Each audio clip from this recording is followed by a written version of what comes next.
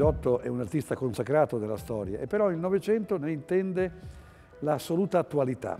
Prima Cézanne in Francia e poi, dopo le avanguardie del futurismo e del cubismo, in Italia una sensazione, una coscienza di ritornare alla stabilità delle forme classiche e quindi vedere in Giotto quella pittura primitiva da cui tutto parte, che è l'inizio della pittura moderna, nella visione di Carlo Carrà la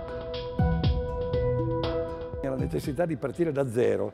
Quello zero per Carrà è Giotto. Così fa Sironi, che però ne interpreta il senso più monumentuale, più assoluto, e così fa Martini. Le presenze sintetiche che sono nell'opera di Giotto, nella Cappella degli Scrovegni e anche ad Assisi, sono il punto di partenza per le forme pure e assolute delle sculture di Martini.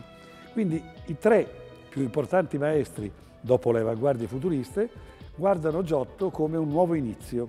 Poi il percorso della mostra si muove fino ad arrivare a Klein, a Rothko, a Matisse, cioè artisti che intendono un'essenza di Giotto che è nella semplicità, nella sintesi, ma in mezzo, negli anni 30, 40 e 50, ci sono artisti in parte dimenticati, penso a Pietro Gaudenzi, penso a Carlo Bonomi, che risalgono a Giotto per la sintesi, per la capacità di avere una struttura formale di grande controllo e misura e quindi tutto il secolo è governato da un'attenzione particolarissima per questo iniziatore. La storia dell'arte comincia con Giotto e la storia moderna ricomincia con lui. Quindi la funzione di Giotto per gli artisti del Novecento è pari a quella di Picasso, se non più grande. Senza Giotto non c'è arte moderna.